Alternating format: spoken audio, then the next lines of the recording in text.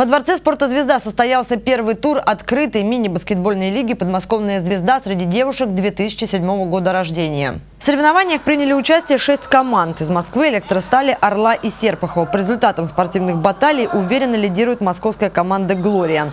Вторыми стали спортсменки школы Олимпийского резерва номер 56. Сборная Серпухова спортивной школы «Звезда» заняла почетное третье место.